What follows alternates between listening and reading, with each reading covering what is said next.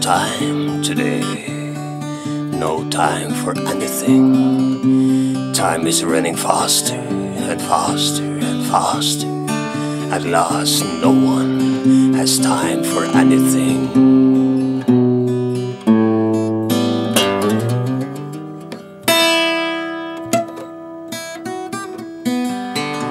It's just a hysterical run for something to happen. Something that shall give the rest we're running for, and the rest we yearn for.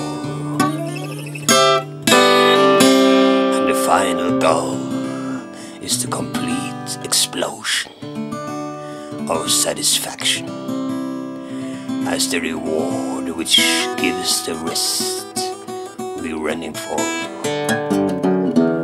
Running running, running, running, faster and faster and faster and faster.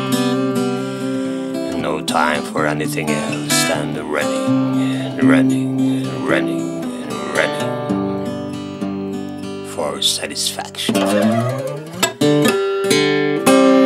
The satisfaction that gives us the rest we're running for.